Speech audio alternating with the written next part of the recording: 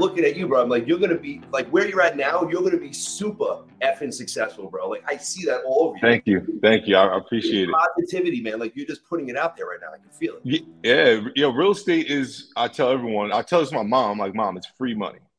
It's literally free money because everyone needs it. When if you're in church, you're in real estate. If you're in school, you're in real estate. If you're at work, you're in real estate. All you have to do is have uh, a little bit of drive and persistence, and it's like all mental.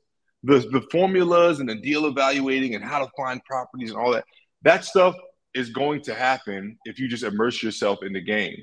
Like even for me, I, am good at those things now, but man, that first year I was just like kind of partnering and being a positive light, making people want to work with me to the point where I was just finding myself in deals. People were like, "Yeah, I, I want to work with this guy." They, they don't know what I have to offer or not, but what they do know is that I'm ambitious and I'm bringing positive energy every time they're around me. So they want to work with me. I found myself in several deals um, and made you know tens and hundreds of thousands of dollars just from not knowing how to find deals, but knowing how to know people who find deals, right? Not knowing how to raise capital, but knowing people with money and saying, "Hey, listen, like I, I'm a good guy, right? Like, let's go, let's do some real estate together." And now, fast forward, you know, we're, we're in the Reg D space where I'm speaking a language that those same people don't know how to speak. So now I'm I'm that resource when before I was just a really cool guy who they maybe wanted to do some business with, right? But that's why I say it's like free money. It's like, oh, if you're if you immerse yourself in this business and you're a good person and you're a hard worker, you're gonna be successful. It ain't like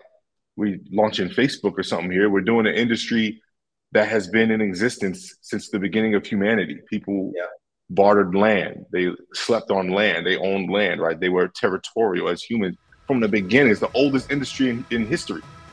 So like we ain't reinventing the wheel here. If you're a good person, you're a hard worker, and you're a positive light, you can be successful in this business.